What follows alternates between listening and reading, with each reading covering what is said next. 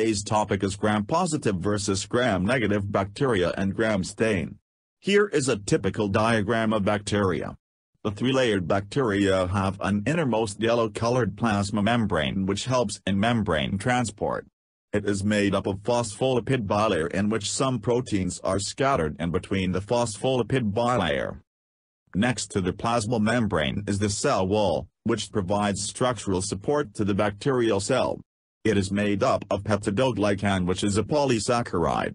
Cell wall has most important role when we come to understand gram-positive and gram-negative bacteria. Third layer is the capsule which is the sticky outer layer for the attachment and protection of the bacterial cell. But here we focus on cell wall because it plays a very important role in gram staining. First let's compare between gram-positive and gram-negative bacteria.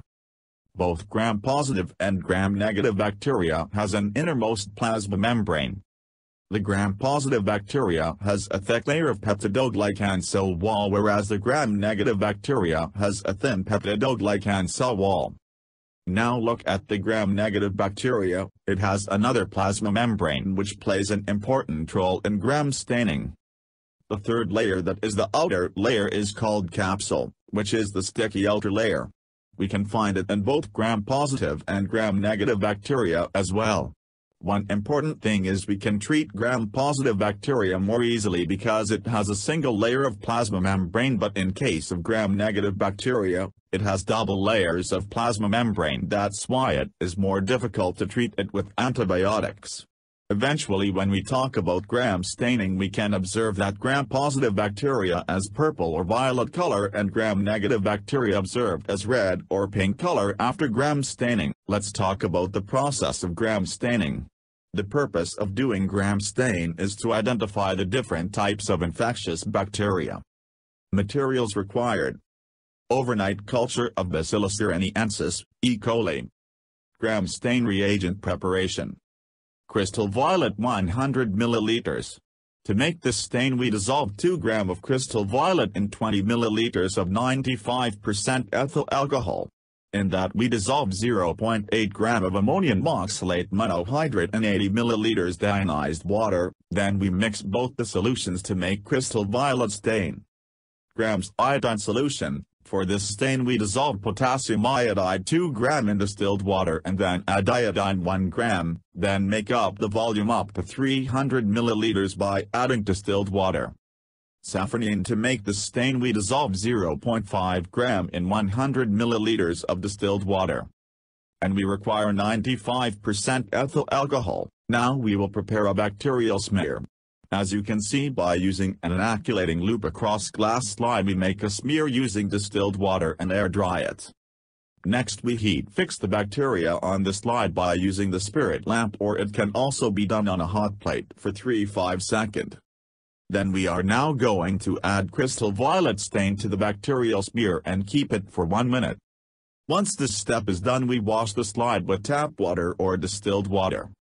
Now let's apply the iodine solution on it and wash with 95% ethanol after 1 minute.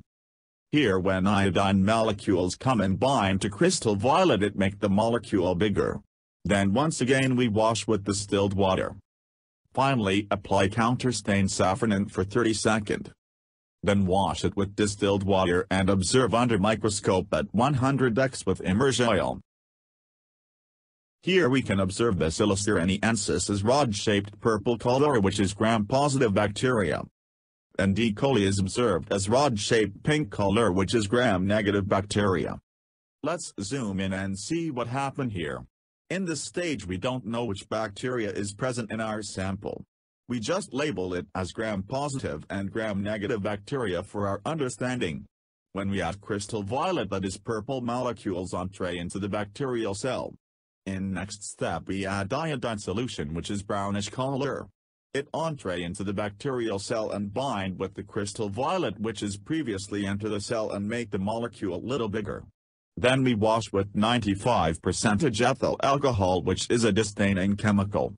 Here what happened to the gram-positive bacteria is the cell wall is shrink and the capsule is dissolved and washed away. In case of gram-negative bacteria both capsule and outer plasma membrane are washed away this happened because of dehydrated nature of alcohol. Here an important thing happen.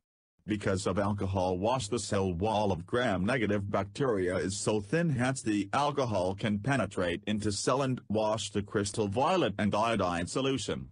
So gram-negative lose their color and look colorless under microscope and gram-positive bacteria looks purple-violet color because it retained of crystal violet stain.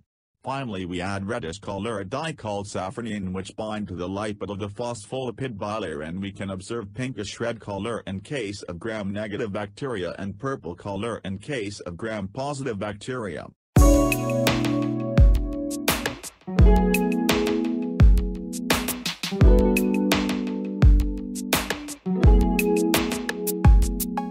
Thank